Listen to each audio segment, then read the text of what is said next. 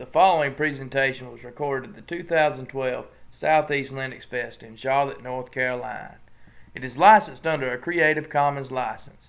For more information about the Southeast Linux Fest, visit www.southeastlinuxfest.org. The Southeast Linux Fest would like to thank the following diamond sponsors in 2012 for helping make these videos possible. My name is Dan Good. I am a programmer.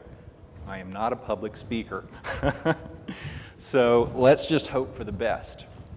I work for Dell. Uh, Dell actually bought the company where I used to work, which is um, SecureWorks, where, where I still work. And we do network intrusion prevention services.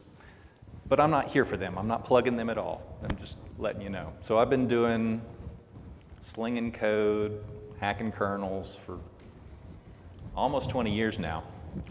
But one thing that I've done pretty much the whole time are regular expressions. I mean, I started using regular expressions uh, back in college, you know, way back when, when the dinosaurs roamed the earth. Okay, yes, a little bit about me. Yes, this is me. That's my picture. It's bad. This is my blog.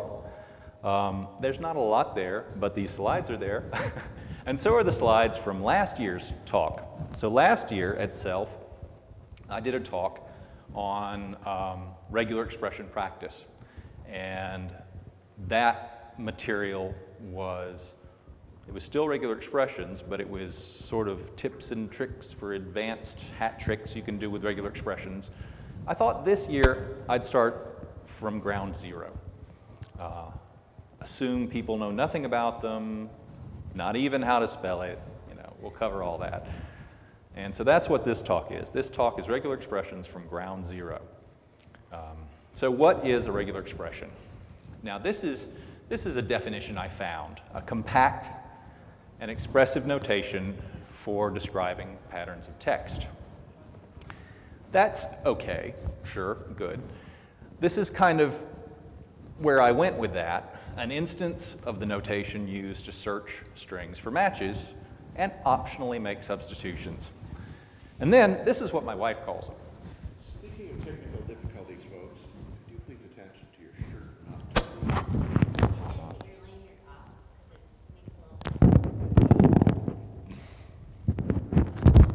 How's that? Any better?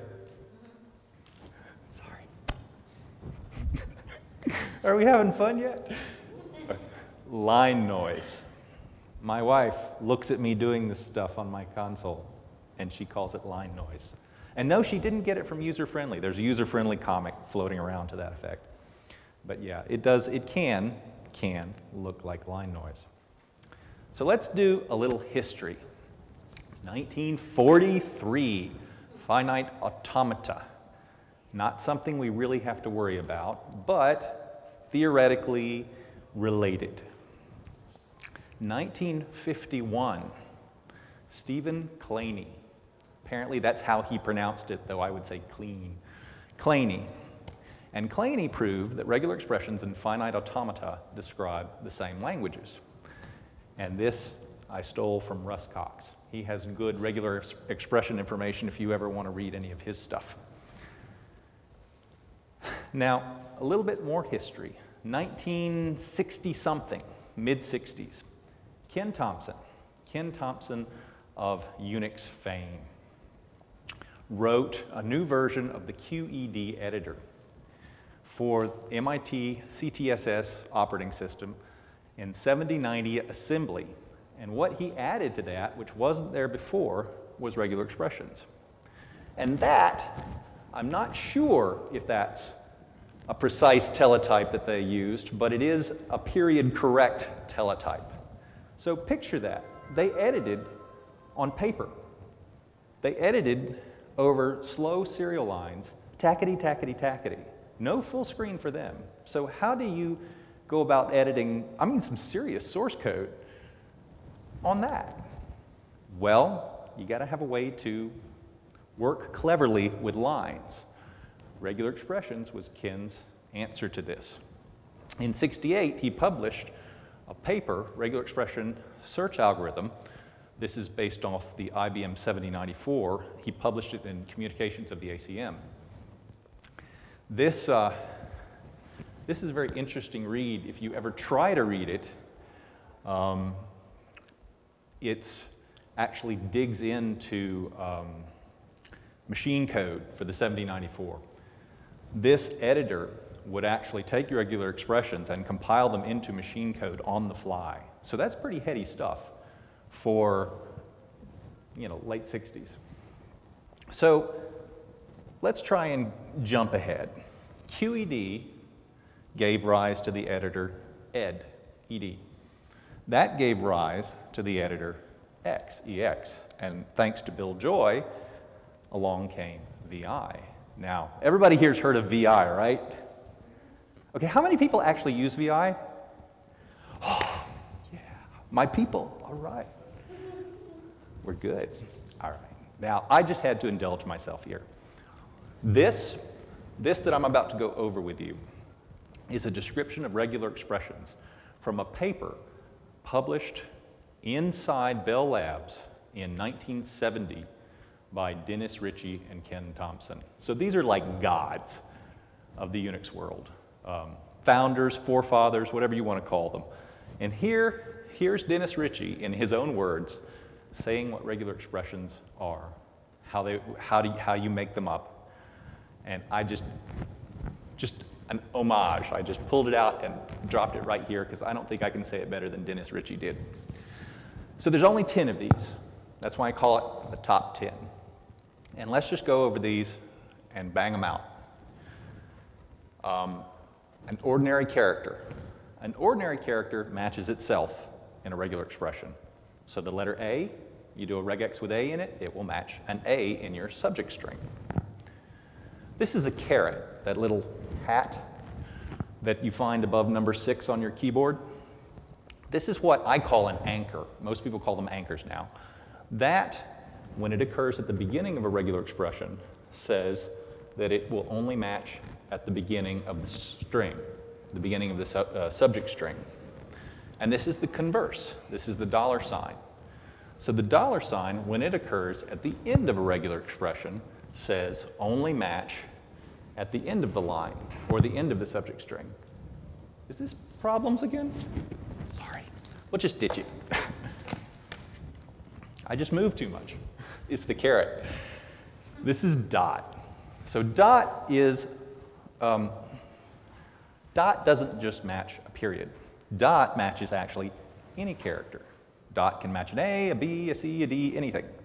It's dot.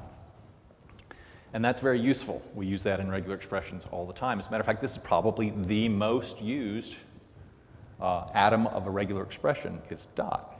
So you might want to ask the question, what if I really want a real dot in, to match only a real period in my regular expression? What you do there is you escape it. You put a backslash in front of the dot. Okay, now we have character classes and the Kleene star. We'll get to that. A character class is just any set of ordinary characters in between two square bra uh, braces, brackets, brackets, we'll say brackets. That's a character class, and it will match any single character from that set in the target string.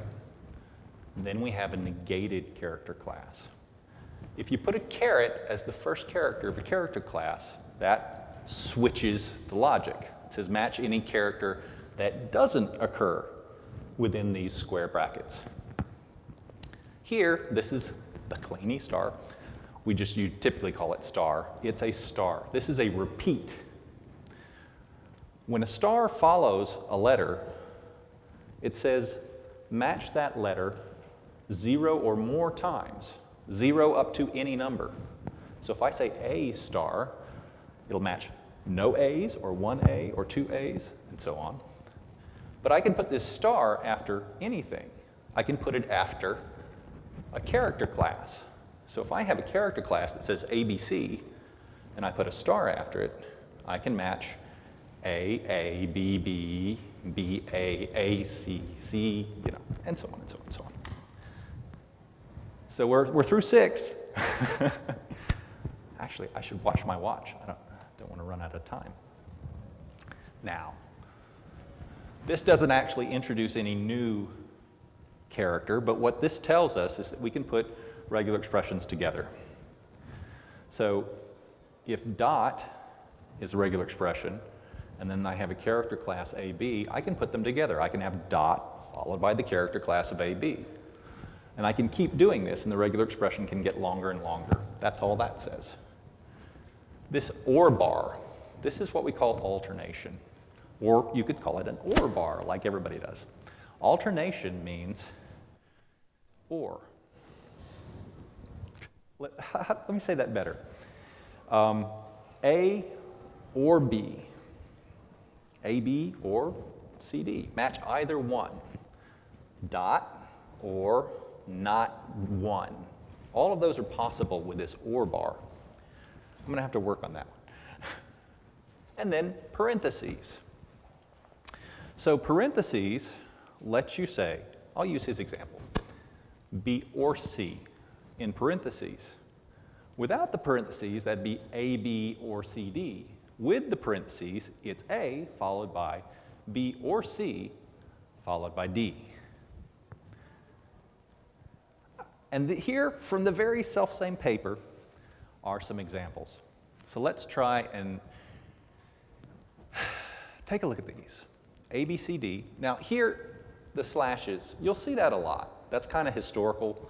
The slash in front of and after the regular expression, they aren't really part of the regular expression. They just kind of help you know that we're talking about a regular expression here. It's notation. So slash ABCD will match ABCD anywhere in the target line. AB or CD. Now we have A, B star, C. Matches A with no B's, with one, with two, any number of B's. Begin, so the caret in front of this, in front of these regular, non-special, ordinary letters, says only match these at the beginning of the line, and followed by the dollar, only matches end at the end of the line. Here we have caret and a dollar. So this regular expression needs to start and end with those two words, the whole string has to have, start with this and end with that. And it can have anything in the middle, including nothing, because this is dot, and dot, dot will match any character. And this is the star, which says zero or more times. So you could have begin followed by a million characters, followed by end, and that would match. Or you could have begin immediately followed by end, and that would match. And here, caret immediately followed by dollar, that will only match an empty line. So no characters can be in here. Here's a character class for the digits, ABC, followed by any single digit character class of not the digits, ABC, and then something that's not a digit. Okay. So, so now we know what they are. And we've seen a few of them. And we've got a top 10 list of how to make them. Where are they used? Well, they are used on the command line, as this presentation would have you believe. grep, ed, sed, awk, perl, bash. Are those all familiar words to everyone here? All right, that's good. grep, global regular expression print, that actually comes from ed. In the ed editor, you can type a G and then a regular expression and then P, and it will print all occurrences of that regular expression globally. That's where grep comes from. It actually comes from ed. And sed comes from ed and ed comes from QED, and so it's all tied together. Isn't that nice? AWK actually stands for Aho, Weinberg, and Kernighan, or Weinberger and Kernighan, I'm not sure. and the Kernighan is the Kernighan of Kernighan and Ritchie, of Ritchie and Thompson, of all of those great forefathers of Unix. So all of these tools are, are tied together. Now, it's also in text editors. Ed actually is a text editor, even though I put it on the command line. You can use it both ways. EXVI, we mentioned those. Emacs, some of you might use Emacs. I used it for a while. it's nothing to be ashamed of. You can be cured, you know. Notepad++. I've heard it's out there, never touched it. Apparently it does support regular expressions. Or if you have a Mac and Apple leaning, I've heard Mac people rave about TextMate, so that apparently is out there, and it apparently also does regular expressions. And then programming languages, nearly all of them. I would have said all of them, but you know, there's got to be something out there that doesn't have it. SNOBOL, for example, doesn't have it. um, C, C++, awk, Perl, Python, Ruby, PHP, JavaScript, Java. There, I read them. Other places. SQL. You guys, this has been a lot of MySQL talks today, right? Did you know you could use regular expressions in your SQL statements? Yeah. So you know like, right? Everybody's seen like, where something like something else. Well, in MySQL, you can say where something, R-E-G-E-X-P, and then a regular expression. And actually, I like to say RLIKE. That's a synonym for it's easier to type. So where something RLIKE, and then a regular expression. Full regex support. It's good. IDEs, all these IDEs tend to have them. Even the syntax highlighting that the IDEs do, like Vim, Vim does syntax highlighting. It does it with regular expressions. If you go look at Vim syntax files, you'll see all these regular expressions in there, and that's how it figures out which things to color red and which things to color blue. And Lex. Lex is a classical, oh, we won't talk about Lex. Let's go on. Why? Why do we do this? So this, according to Doug McIlroy, another of our famous founding fathers of Unix, incidentally, he is credited with Unix pipes, says this is the Unix philosophy. Write programs that do one thing and do it well. I'm sure we've all heard that. Write programs to work together. Write programs to handle text streams because that is a universal interface. And it's those last two sentences which are actually the most important thing he's saying here programs work together. Pipes, inventor of pipes, says programs work together. He's right. In Unix, you use one program and its output, you pipe it as the input to another program, and they work together. And why do they work together? Because chances are the output is text. This one uses text as its output, this one can read text as its input. They work together. Text is a universal interface. And why are regular expressions so handy? Because they're good at working with text. So if programs work together and text is a universal interface, and regular expressions are good with text, then regular expressions are fundamental to the Unix philosophy. Okay. How many of you guys have iPhones? Lots of iPhones? Only one iPhone? Really? Wow, Android? Oh my God.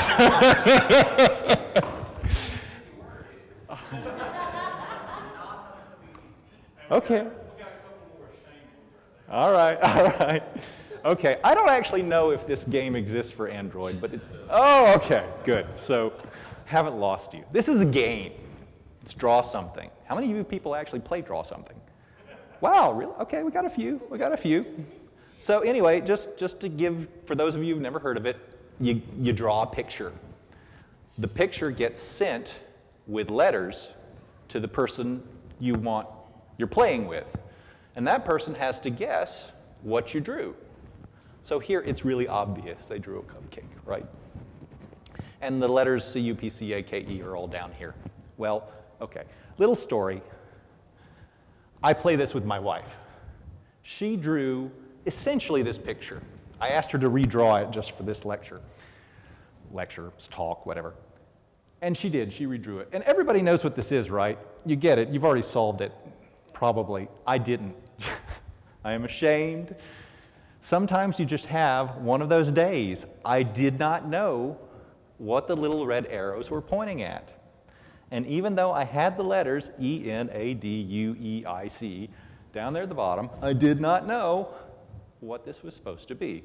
So what did I do? I cheated. I cheated. You guys know that there's a file on all the Linux boxes called user shared dict words, right? It's a word list. It's a very long word list. Comprehensive, if you will, word list.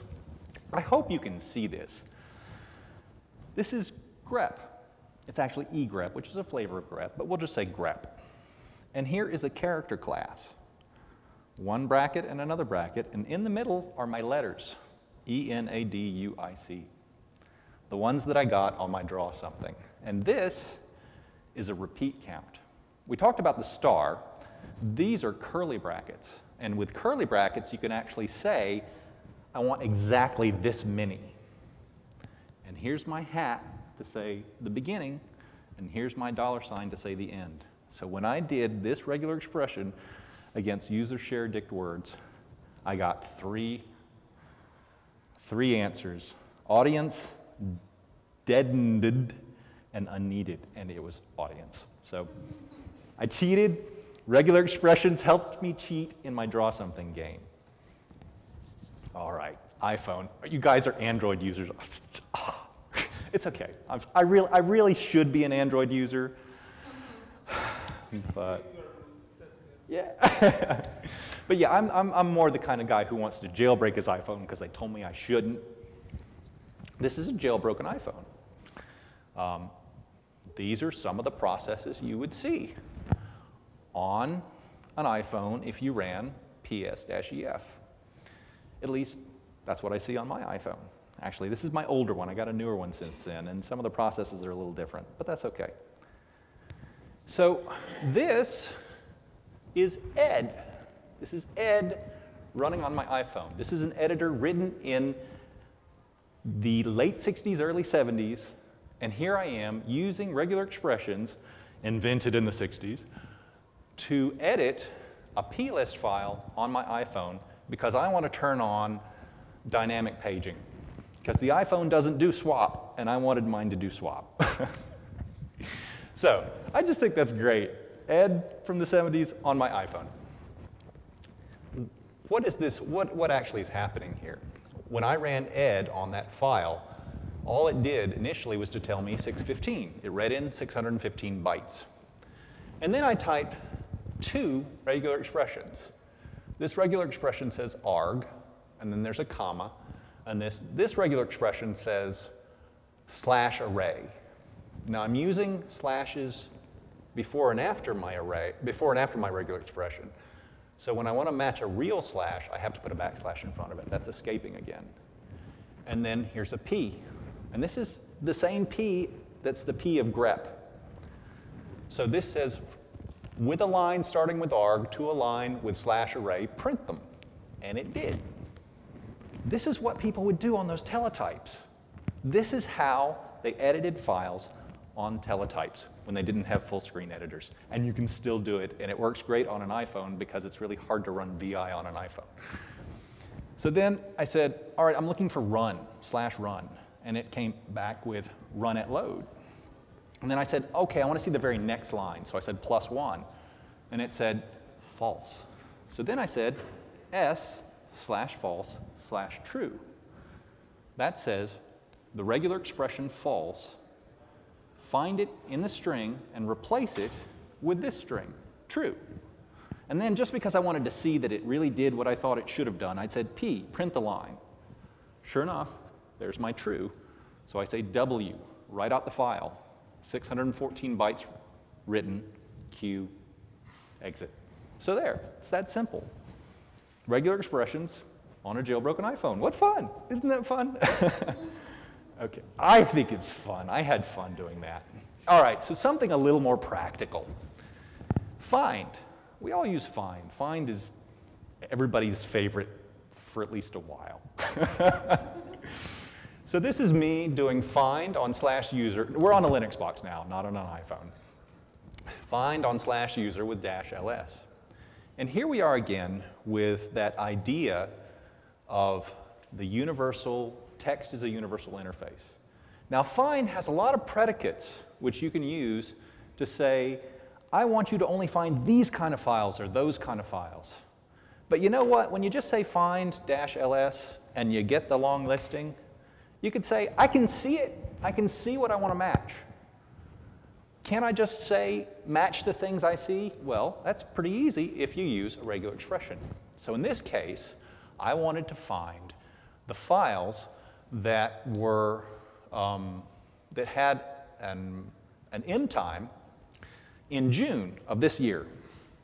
Now, only of this year, because if it were last year, the LS would have put um, a year here instead of a time.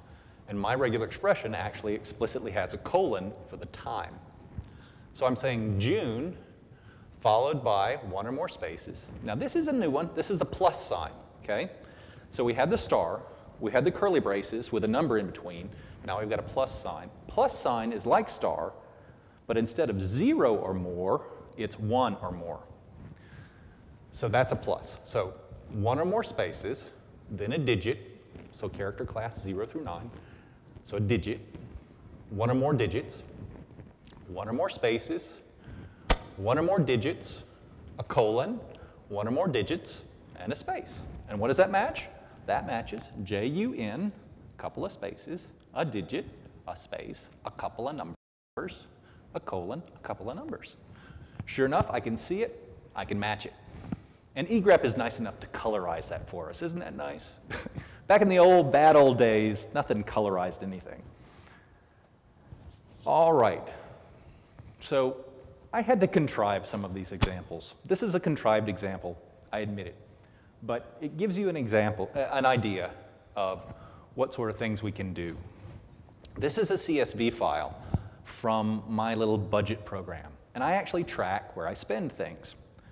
And here's, you know, here's like the first four lines to just sort of show you what it looks like. And if I can see it, I can match it. So this is a little more than a year's worth of data. And if I wanted to say, how many times did I buy coffee over the last year? Starbucks, yeah, Starbucks, or you know, Dunkin' Donuts, I do that too. Uh, so I, I'm grepping for lines that begin with coffee. That, so begin, there's the caret, begins with coffee. And this is what they look like and I'm only limiting it to four here. So I'm going to get all the lines that start with coffee from my CSV file. And then I'm going to look for, and I want to count the ones that occurred only over the last year. So over the last year includes 2012. It also includes part of 2011. So I did this in two steps, first off. Here's a comma. This is the comma right here for this date. And then I said the digits 1 through 5. So that's January, February, March, April. And then a slash. And then one or more digits, and then a slash, and then a 12, and a space. And that's going to match something like 5 slash 25 slash 12. And that'll get me the 2012 part. But what about the 2011 part? So I need the last couple of months of 2011. So here, I'm using some parentheses because I want to say, I want to say 6, 7, 8, 9, 10, 11, 12. But 10, 11, and 12, those are two digits, not just one. So I'm using here a character class of 6 through 9, square brackets, and then an OR bar, and then a 1 followed by either a 0, 0 through 2, 0, 1, or 2. And I put that part in parentheses. So either or will work. And then followed by some slash and some numbers and a slash and 11. And that will get me coffee from 2011. But I can put regular expressions together, right? I don't have to do this in two steps. So here, grand finale, drum roll, is the first expression. That's exactly the same with an OR bar, and then the second expression. That's all that is. I just took the two together, and the numbers do add up. So 22 times in 2012, 30 times in 2011, 52, if I count them all together. A little bit of a contrived example, but this is some of the stuff you can do with regular expressions. Sed, sort, and uniq. How are we doing on time here? Not much left. I'm going to breeze through these. Okay, we all know about syslog files, right? I wanted to say, who's writing the most lines in my syslog file? And in a given syslog file, the program will tell you which one it is that's writing the line. So here I've got rsyslogd, Anacron is writing some. what I can do is I can use good old awk and tell it to give me the fifth field. And awk, by default, will separate fields with spaces. So here's field one, two, three, four, five. So that's my fifth field, anacron, rsyslog. But if I try and count these, they're hard to count because some of them have the process ID after them. I want to get rid of that process ID. So I use sed. And sed is just like ed, but you do it on the command line.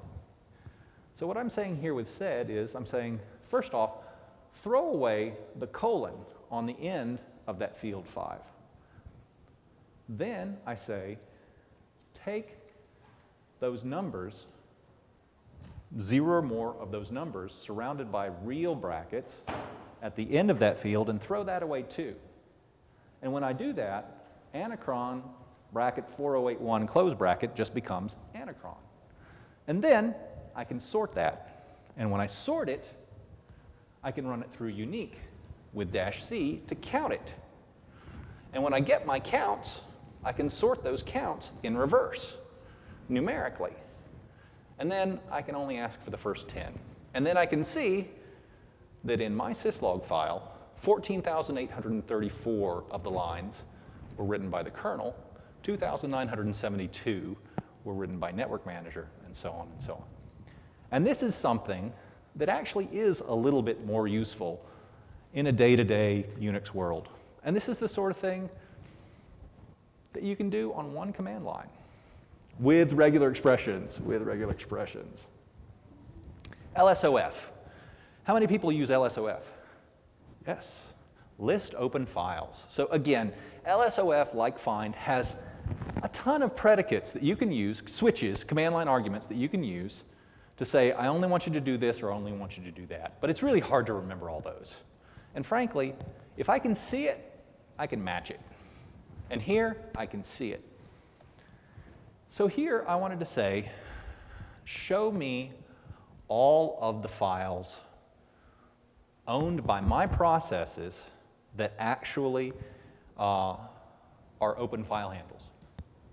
So show me the open files of my processes, excluding the current working directory, the memory mapped regions, the libraries that are in use, and the other things that LSOF will also show you. And I did that with a regular expression that's just space, DG, that's me, space, and a number. And you can see egrep shows you what that matched in that output, DG, and then the number. And those numbers here, in case you don't know, this is the file descriptor. And this W afterwards says that it's a, uh, writable. It's open for write. So let's go a little bit farther. Oh, running low. Are we, are we supposed to? Oh, I've got until 6.15? Yep. Oh, we're golden. All right, let's dig in then. so here, we're doing a little bit more. This time, I wanted to use LSOF, but I wanted to ask the question, what are the files that are open for write on var log? And I don't remember why I wanted to ask this question, but I wanted to know the answer. I really did. Um, and that's less easy to do with the arguments to LSOF. I think it might be doable, but this is how I did it, because I could see it. And if I could see it, I could match it. So here, this is a new one for you, this backslash b. This is, this is not a literal b. Okay, first, first non-intuitive one. A backslash b is actually a special matching tool which says to match at a word boundary. So a word boundary is essentially something that's alphanumeric on one side and not alphanumeric on the other side. And it's really useful. So I use that all the time. So I've got a word boundary followed by some digits and then a literal W followed by any number of characters, a space, and slash var slash log. And you can see what this matched in red from the LSOF, LSOF output. The word boundary matched right before the number. We have the literal number, a literal W, and then bunches of characters matched by the dot star, and then slash var slash log. And that works. So now let's say I really only want to see the process that has that file open and the name of the file. I want to get rid of all this stuff in the middle. That's also easy to do with sed. So sed, I'm using our s, and remember from our talk about ed, s slash a regular expression slash a string to replace the occurrences of that regular expression with. So this is my regular expression, and all it is is a space, the character class that is not slash, zero or more times. That's my whole regular expression. And all I'm replacing it with is a couple of spaces. So that matched this first space, and then all of these not slashes, all the way up to here, when there was a slash. And when I ran this output through sed, this is what I got. I got the process, two spaces, and the, um, the file. so sometimes, sometimes you're a perfectionist, right? You know, looking at this, this bugs me because they don't line up, and I like them to line up. I'm either going to use something like a colon to separate things because I want other machines to read it, other programs, or I'm going to make them line up because I like them to line up if I want to read them. So here, I made them line up. This is the same idea. This time, I'm using awk. Awk is another fun tool, all right? But awk starts to cross the line. Arc, awk starts to become more of a programming language and less of just a Swiss Army knife. And Perl went way over the line. Perl was awk on steroids, and then Python was people who didn't like Perl wanting to do their own thing, and Ruby was people who did like Perl wanting to do something better. And you know, so that's where we are today, right? so this is awk. And awk does the same sort of, oh, I mentioned this before. awk will let you, breaks things up into fields all by itself. So when I say dollar $4, I'm saying the fourth field. And with LSOF, that's, that's this one, the FD. Now this is some of the other things you might see in FD, but remember, um, we also saw numbers followed by a W to say that's an open file handle open for write. And that's what I'm looking for. I want the fourth field to have to end with a W. So that's what this says. The fourth field ends, matches this regular expression. And the regular expression, this time, conveniently enclosed in quotes, is W dollar. Now here, this is an AND. Now this is, this is a programmatic AND. This isn't a regular expression AND. Like I said, we're starting to get into programming. Of course, regular expressions really are programs. It's all programs. It's all programs all the way down. Dollar nine is the last field. And I want it, it to begin with slash var. And that's all I'm doing here. Two regular expressions, one on the fourth field, one on the ninth field. And here's where I pretty it up. I'm using a nice, good old-fashioned printf to say I want the first string to have 15 spaces, to live in uh, 15 columns. And sure enough, it does. So you can make it pretty. You can even make stuff pretty. Oh, wow, we're almost done. When not to use regular expressions? Maybe. All right. How many of you would love to use these great new tools to search the web? well, you could write your congressman or you could write Google, but they don't do it for you. And it's not because they don't like regular expressions. The people at Google love regular expressions. As a matter of fact, one of the guys I stole that slide from earlier, the first history slide, was in charge of a project to do regular expressions at Google. But the only things they did the regular expression searching on was their code, um, their code crawler. So they used to have a crawler that would crawl source code, and you could use regular expressions to search that source code. I don't think they have it anymore. But so they know regular expressions are good, but they also are kind of a lot of effort in terms of building up the indexes you would need to make them efficient for something as big as Google.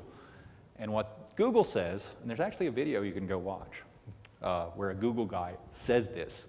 They say there's not enough demand.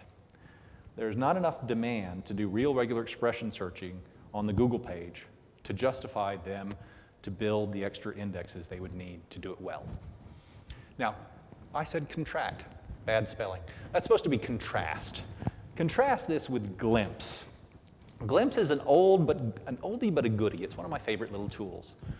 What Glimpse will do is it will take a whole directory tree and recurse it and build an index of the various, um, what would you call? You call them tokens, various strings that occur in all those files, and it'll make that index.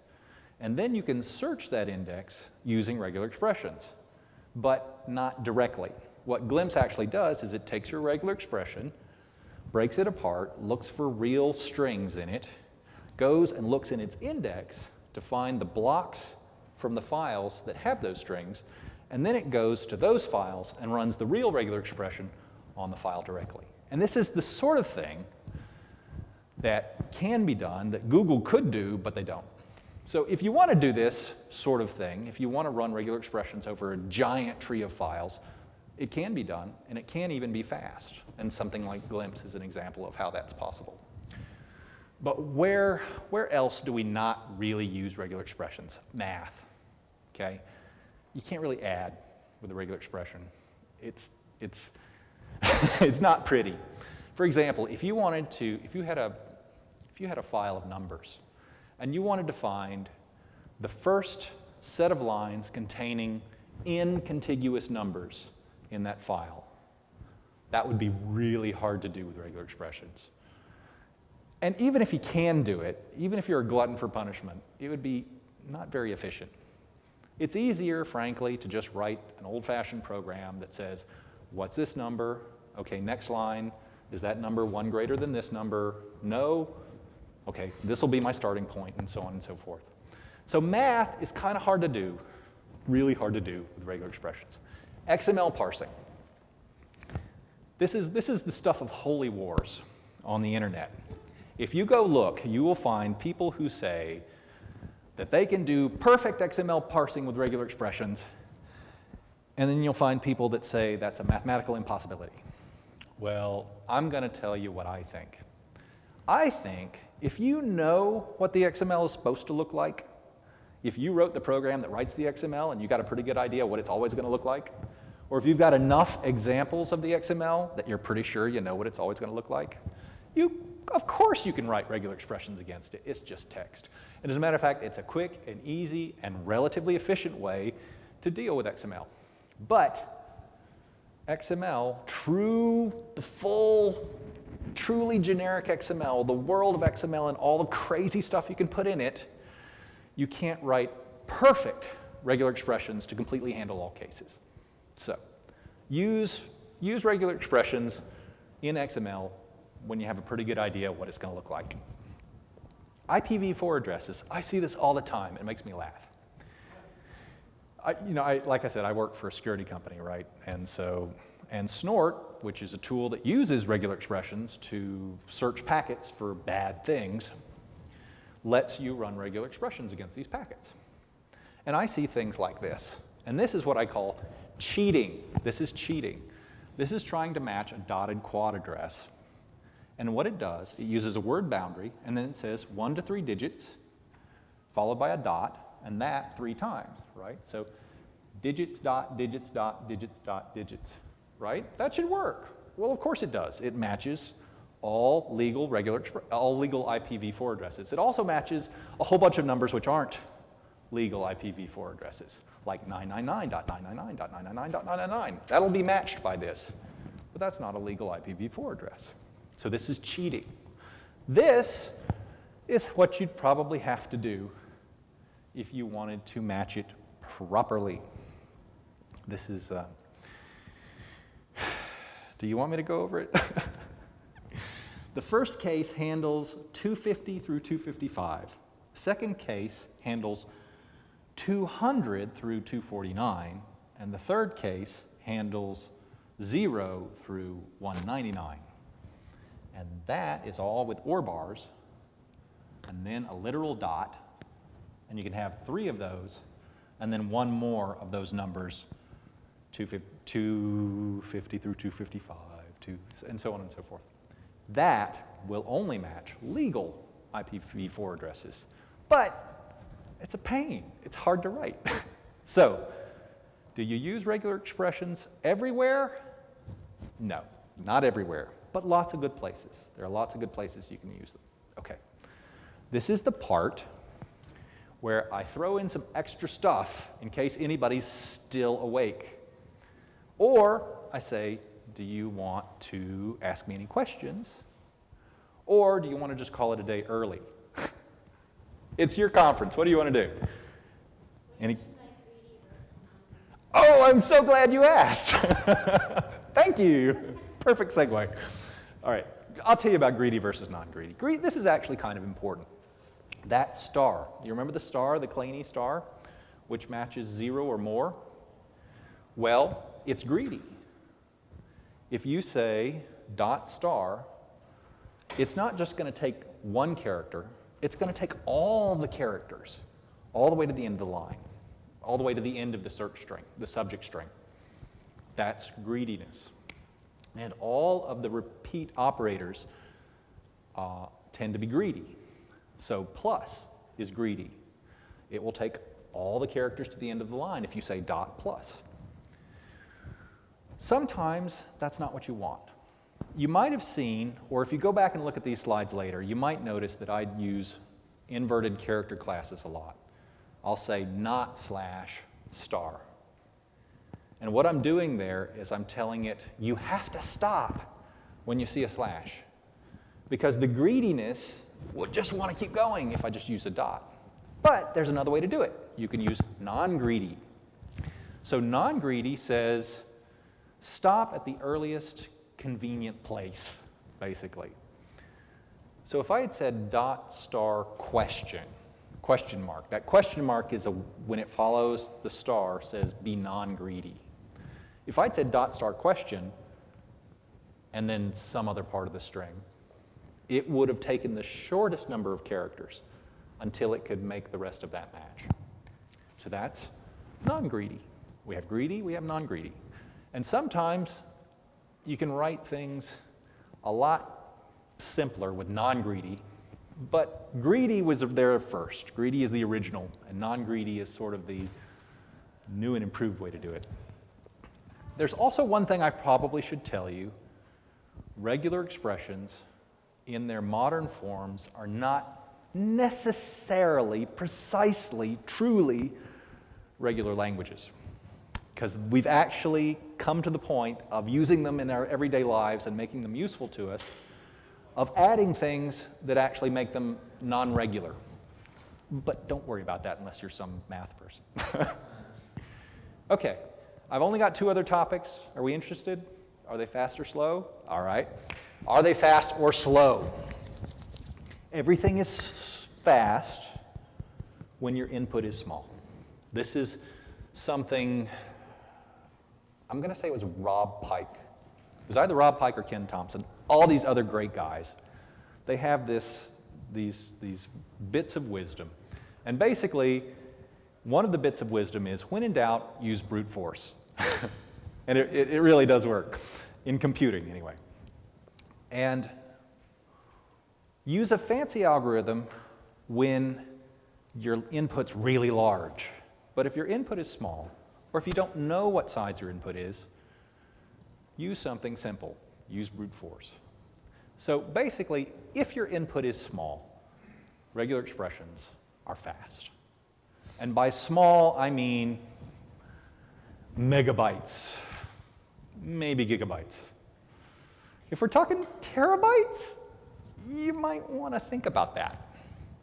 So in the work I do with intrusion prevention boxes, we've got boxes that sit in a line in a network and inspect packets.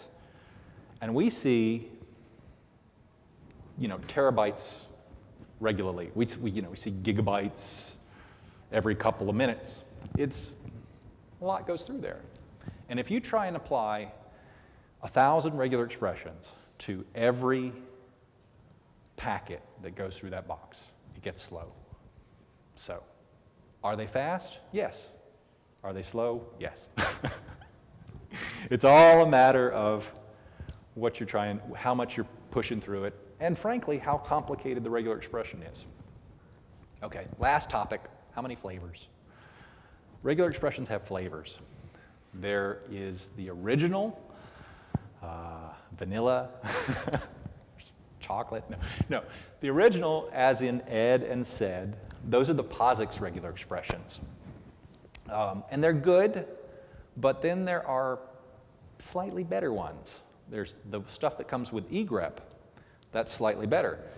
And when I say better, I mean it makes it easier to write some things. The plus sign, for example, that's in the egrep version, not in the ed version. In the ed version, if you wanted to say plus sign, what you'd actually have to say is curly brace, one, comma, close curly brace. That is the original way to say one or more. But they did so much of that that people, when they wrote egrep, they said, we want a shortcut. So plus is a shortcut. Then there's the Perl-based ones. And these are sort of the holy grail. These are the really good ones that everybody likes and everybody uses. And that's kind of the best flavor. Um, I, I don't know what the best flavor of ice cream is, but Perl is definitely the best flavor of regular expressions. And typically you find that in all modern tools, when they say they support regular expressions, they typically will support Perl flavored regular expressions um, because there are really good libraries out there to do that and make that easy. So those are the flavors. And that's all I've got. That's it. That's the end, I think. Shall I check? Yes, that's definitely the end. Any questions? Anybody want to ask a question? Oh, okay. Hi. Um, just an nitpick, really. But when you say uh, search in Google regular expressions, there's actually a site, DuckDuckGo, that you can you can actually do that. No kidding. Yeah, so Oh, it's that's the Google language? Is what? that the Google language? No, that'd be the Google code search. But um, DuckDuckGo is it's written in Perl. Ah. And I'm a Perl guy, so this is kind of advertisement. Shameless. All right. All right, anybody else have a question? You have a question? Excellent. You're in the front of the class here, right? Excellent. I, I thought you might know. Uh, I couldn't help noticing that you used the ampersand in the um, programming one. Why did they choose the plus sign instead of the ampersand? Why did they choose the plus sign instead? I figured if anyone would know, you would know. Why. That's a good question. No, I don't know. Um, there are just about every character you can think of has some meaning or other in the really advanced regular expression stuff. Um, the parens, the brackets, the curly braces, the question mark, the colon, the dot, what, there's more, the backslash, and then you can put them together. So you can get things like open paren, question mark, colon, hyphen, yes, thank you, the caret, that's, you know. So why ampersand? I guess they felt, maybe they felt it was just one step too far.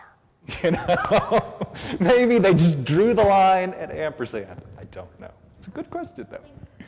Anybody else? Any more? All right, let's call it a day. Thank you.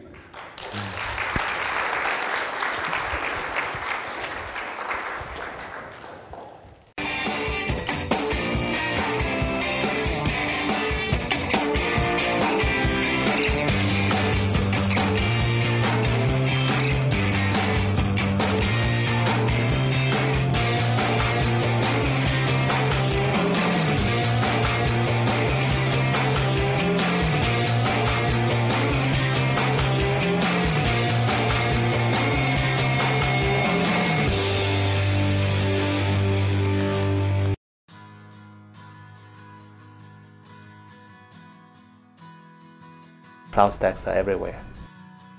This is the way to, to better utilize uh, all your resources and it makes managing all your resources pretty easy. All of the innovation is happening in open source. The, the collaborative nature and of the uh, you know of the community and, and the speed at which these uh, these, you know, these, these deficiencies, these bugs are getting discovered and then fixed is a, is like that really shows the power of the, you know, of the open source community. It is global, and it's definitely because of the users. Community people are extremely friendly and uh, always ready to help. If you go onto IRC any day, you'll see these guys helping each other out, and they're all doing it like in a selfless manner. The product is transparent for everyone. Everyone can look at the code base. Um, everyone can see how CloudStack is, is being built. Nothing, nothing is proprietary. Everything is open. In many ways, it's absolutely vital to the, to the ongoing health of CloudStack. The most exciting event uh, in recent memory for me uh, was our first developer boot camp. Uh, and you know, our call gave people, I think, maybe two weeks notice to come attend. I was expecting 25 or, or 30 people. Uh, so we ended up with uh, 87 people uh, and had to go get more chairs uh, into the room twice. Everything within cloud computing is commodity and is open source. And so I, I don't think that you will uh, you, you'll see anywhere where open source is not pervasive in cloud computing. And so I, I think it's uh, I think it's an assumption. I think when you talk about cloud computing, you're really talking about open source cloud computing. CloudStack is a robust solution for large deployments.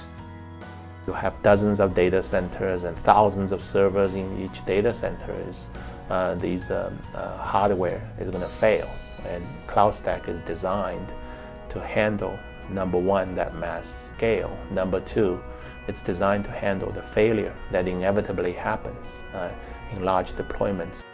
We started working on CloudStack over four years ago, uh, and you know it was the original set of people working on it uh, had a background of delivering software to telcos and service providers. Lots of QA, lots of users actually using it. High availability is the key feature. Uh, multiple hypervisor support, uh, different network models. You can pick up whatever suits you better. CloudStack Management Server can be deployed in different physical machines. It definitely has a huge footprint. It's being deployed everywhere. There's a major movie studio that uh, um, they were using CloudStack. They were using it to transcode video. And I thought that was terribly fascinating. What I found more fascinating is what they did during lunch, where they would spin up, uh, you know, 50 or 60 game servers. Then as soon as lunch was over, they would destroy all the instances and go back to doing real work. CloudStack is vast. Uh, it touches so many different aspects, and there's no one person that's kind of like a master of all those realms. I think CloudStack as a project is going to be uh, one of the leaders simply because it's some of the most featureful and and uh, and robust platforms out there. I don't see any limits to the CloudStack.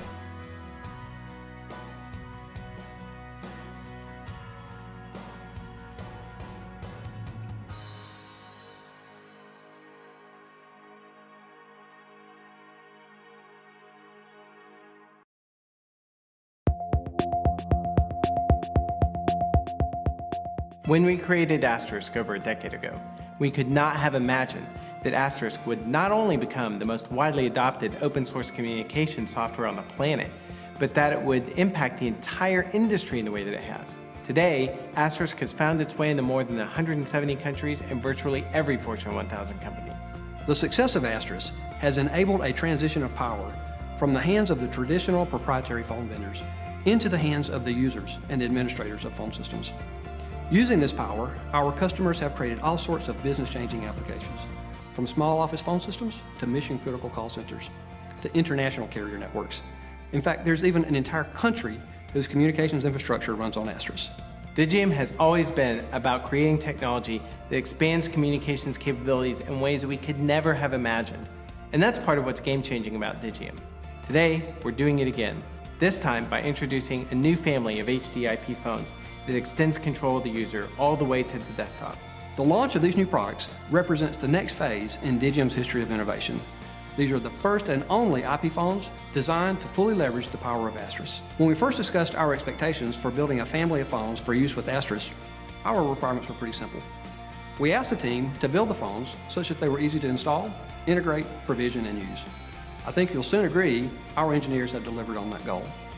User feedback is validating that when it comes to operation with Asterisk-based systems, including our own SwitchVox-based product, these are the easiest to use, best integrated, most interoperable products on the market today. The Digium family of phones will initially include three IP desk phones, uniquely designed to complement any Asterisk or SwitchVox-based solution. These phones are different for a number of reasons. First, they're exclusively designed for use with Asterisk. Secondly, we've made it really easy to auto-discover and provision the phones. Next, we've made it easy for the phones to access information inside of Asterisk, allowing tight coupling between an application and the phone. Additionally, we've created an applications engine that allows users and developers to create and run their own apps on the phone. And finally, we've done all of this at a very compelling price point. At Digium, we're always thinking of ways to give our customers the best value in business phone systems and also give them the power to create their own solutions for any communications challenge. We'll continue to push the boundaries, not only to make Asterisk cooler, faster, and more technologically feature-rich, but to make Asterisk and VoIP communications even easier. And together, we'll change the way the world communicates. Again,